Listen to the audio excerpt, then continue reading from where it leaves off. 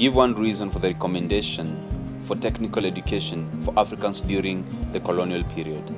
Number one, to curb competition for jobs with Europeans. Number two, provide skills for the settler government. Next question.